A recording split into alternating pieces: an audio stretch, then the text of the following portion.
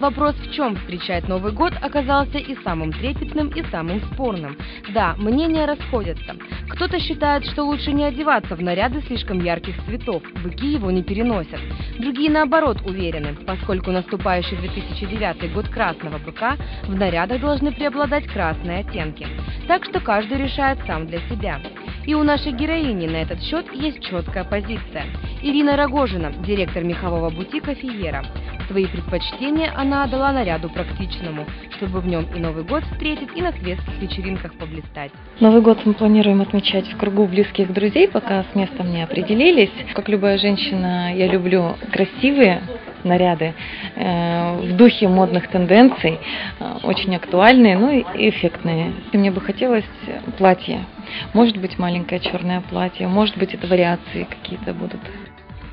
Эксперты называют маленькое черное платье образцом женской элегантности. На его основе можно создавать самые различные ансамбли. Впрочем, смотрите сами.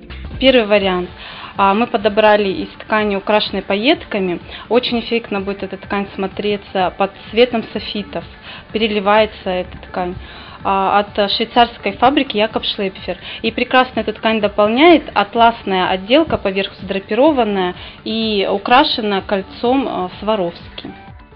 Тренд этого сезона – игра с объемом. Здесь важно не ошибиться. Такой акцент должен не испортить образ, а выгодно его подчеркнуть.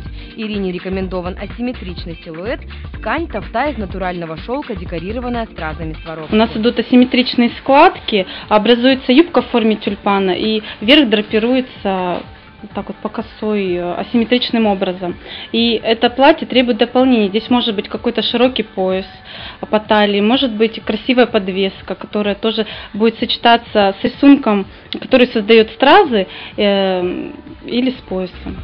Роскошное трио сезона – кружево, шелк и меха. В таком наряде сложно остаться незамеченной. Лаконичное открытое платье можно дополнить эффектной меховой горжеткой. В этом комплекте мы добились такого интересного эффекта, когда а, мы подложили именно телесного цвета подклад, то создается иллюзия кружева наложено на голое тело. Изящное кружево с люрексовой ниткой, а, щедро украшенное, расшитое бисером и лентами из органзы э, с красивыми шифоновыми цветами образует а, силуэт по фигуре.